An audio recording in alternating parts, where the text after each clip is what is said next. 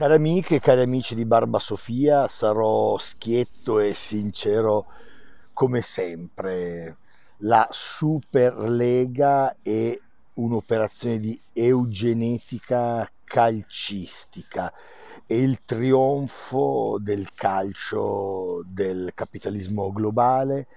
e il trionfo di un calcio chiaramente che sradica, sradica ogni legame con la terra, con le comunità di tifosi e il calcio liquido, televisivo, finanziario, speculativo e il calcio che però ha preso questa direzione ormai da decenni e dalla fine degli anni 90 il calcio ha preso questa direzione, è un giocattolo nelle mani di ricchi signori che vogliono fare soldoni, che vogliono realizzare profitto.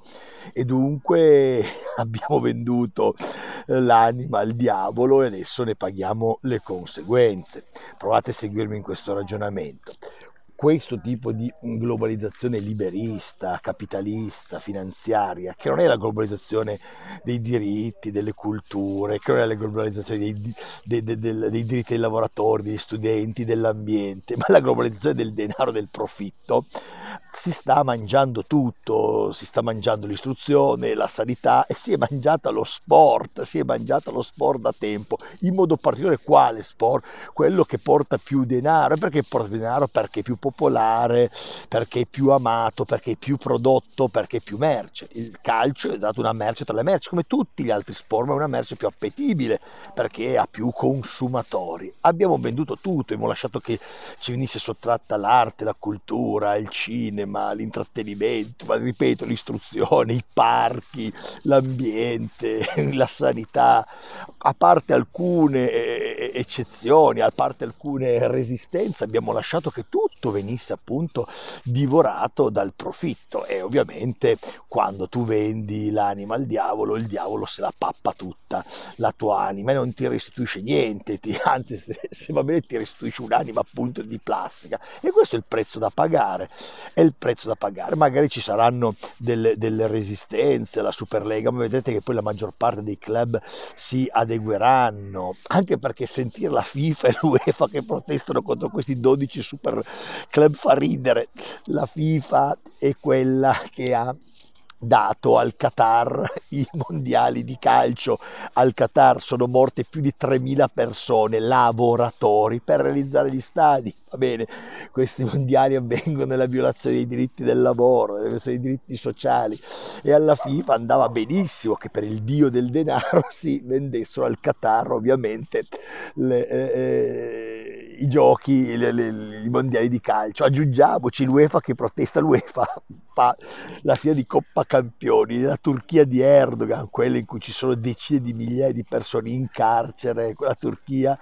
che tutto sapete, che tratta così i migranti, che tratta così le donne, che massacra e bombarda i curdi. Dunque stiamo parlando di organizzazioni a delinquere, di persone corrotte, di persone che tentano proprio di, di, di, di, realizzare il profitto su tutto, venderebbero le loro madri pur di fare profitto. Dunque la Superlega ripete l'eugenetica del calcio, scegli i 12 club più ricchi che poi diventeranno 15, lasci un contentino a 5 altri club che saranno sempre comunque molto ricchi di entrare in questo gota di 20, di 20 squadre, 20 squadre che si giocheranno appunto una Superlega anziché la Coppa Campioni, ci sarà la Superlega, come c'è già le, le, le, l'Eurolega nel basket, cioè di fatto delle franchigie chiuse, 15 squadre, adesso sono 6 inglesi, 3... Eh, italiane e tre spagnole, vedrete che arriveranno anche un paio di, di, di, di francesi, arriveranno le tre, tre tedesche, comunque saremo lì, saremo lì. E a quel punto nasce questo super prodotto globale, vediamo se poi gli spettatori, tifosi si rifiuteranno, lo boicotteranno, è comunque un azzardo quello che tento, ma il capitalismo azzarda anche, il capitalismo globale azzarda, la macchina è troppo grande, è uno star system che abbiamo voluto, i Ronaldo, i Messi, Mbappé, ehm, sono delle superstar che ah, prendono gli Ibrahim, delle cifre che sono senza più senso, non sono più correlate neanche con la dimensione sportiva, ma la domanda offerta, domanda, eh, domanda offerta, noi ci prendiamo questo, domanda offerta, io ripenserò ai derby col toro degli anni Ottanta, alcuni ripenseranno appunto alle partite no, tra so, Inter ehm, e, e, e, e, Verona, il Milan appunto il Benevento, si ripenseremo alle vecchie coppe delle coppe, alle coppe UEFA, ma tutto chiaramente cambia, ma cambia nella direzione del capitalismo globale, del fare profitto, i fondi sono entrati nel, nel, nelle proprietà delle scuole di calcio, i scicchi sono nelle scuole di calcio, il capitalismo rispetto al nostrano cerca di stare al passo, la Juve è la squadra del capitalismo italiano con più soldi che tenta, l'Inter e il Milan sono ormai in fondi, un fondo, fondo americano, quel, eh, eh, il Milan, un po' fondo e privato, la Cina, lo stesso vale per il Manchester United, un fondo americano, e poi sono i capitalismi di Serie B,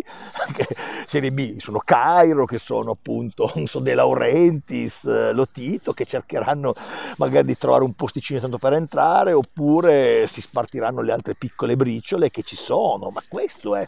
il, il, il calcio, un prodotto, un prodotto come tale va venduto, è un prodotto per fare il massimo del profitto, Disney Plus, Amazon Prime, Netflix, sono già dichiarate disponibili a comprare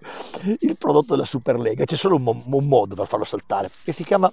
resistenza, si chiama anticonformismo, diciamo basta, a noi a questo calcio diciamo basta, non ci piace più, arrivederci amore, ciao, l'unico strumento che noi abbiamo è quello non di essere resilienti, ma di essere resistenti, di dire a questi signori del calcio arrivederci, ma dobbiamo già dirlo ai signori della televisione, ma dobbiamo dirlo anche ai signori dei prodotti globali, dobbiamo già dirlo anche a tanti politicanti che hanno svenduto i beni comuni, dove eravamo? Quando svendono i beni comuni, dove eravamo? L'acqua, ripeto, l'acqua, la sanità. Cari amici della Lombardia, dove eravate quando privatizzavano la sanità? È più importante la sanità venduta, è più importante vendere il prodotto calcio? Non lo so, dico a Lombardia, dico al mio Piemonte, i beni comuni vengono no, pappati da banche, da gruppi privati. Dobbiamo svegliarci, ormai forse è troppo tardi, io ci credo sempre, svegliamoci. Il calcio è un bene comune, ce lo dobbiamo riprendere, ma come il bene comune è il calcio, lo è lo sport nei nostri quartieri. Devo chiedere investimenti per lo sport che fanno i nostri figli, non investimenti per gli sport che praticano Ronaldo rispetto a Messi o altre personalità, so che siamo addormentati, siamo costantemente addormentati, anestetizzati e dunque non reagiamo più. Il non reagire più ha portato chiaramente a tutto questo. Il fatto che ci si indigni per il calcio dopo la salita alla scuola la dice lunga su come è la vecchia talpa del capitalismo globale ha saputo scavare. Adesso tocca a noi controscavare, scaviamo, scaviamo, scaviamo, che magari poi il sistema, boom,